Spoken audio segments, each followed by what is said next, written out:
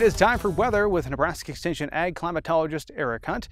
Eric, it seems like temperatures are starting to crank up now that we're into July. How are things looking as you take a look at weather in the week ahead? Thanks, Bryce. It's going to be plenty hot the next couple of days across most of the state, most of the country for that matter. Look at the 500 millibar chart shows this jet stream well to the north and a strong ridge of high pressure just to our southwest. That'll keep things very, very warm with temperatures well over 100 degrees across most of western Nebraska and getting into southern Nebraska. Uh, very high heat indices as well in eastern Nebraska where you have more higher humidities. Uh, again, it's probably going to be 110 to 115 with the heat index across portions of eastern Nebraska. And I think there's portions of southwestern Nebraska that could flirt with 108 on Sunday afternoon. A little bit cooler on Monday, but still very warm. As we move into Tuesday, though, we'll see the flow amplify a little bit and a trough moving in toward the upper Midwest. That should drive a surface cold front into the region, uh, probably getting northeastern and north central part of the state by Tuesday morning. There should be a couple of chances of rounds of thunderstorms on Tuesday into Wednesday morning, and we'll see some much needed relief in terms of cooler temperatures. Uh, precipitation amounts, generally speaking, I think everybody in the state has a chance of getting something. Uh, this would be very, very welcome rain in the panhandle. We might get a bit more than this across portions of eastern Nebraska if we end up getting more convection as currently expected. Uh, and a much needed relief in terms of cooler temperatures, particularly for the eastern half of the state, where we should actually have highs mostly in the lower to mid 80s the back half of next week. Uh, as we move to the later portion next week, that ridge is really going to amplify across the north, across the western United States. And on the back side of that, we should actually see some shortwave energy come in Thursday night into Friday that could produce some severe thunderstorms. Something to watch out for. It's definitely not rubbing the forecast right now, but something I think we have to watch out for later this next week. Uh, European model shows at least some chance of an inch of rain for a good portion of state heading into the end of this next week.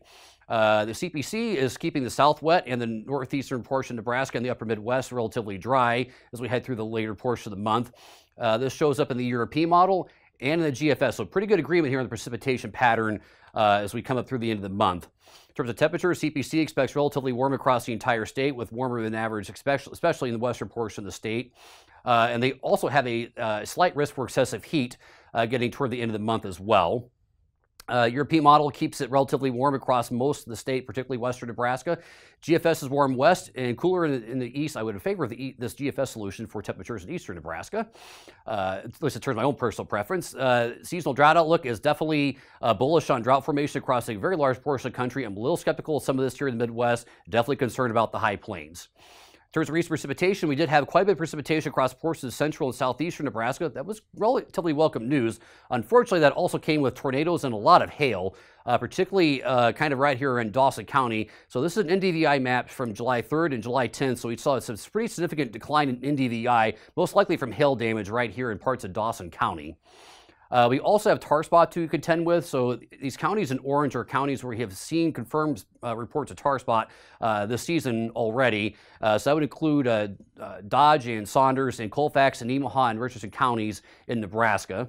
Uh, in terms of stress on croplands, generally speaking, pretty good conditions across most of the country. Uh, some stress here in the high plains. Uh, definitely showing a lot of stress on the rangelands here in the high plains, according to VegDRI.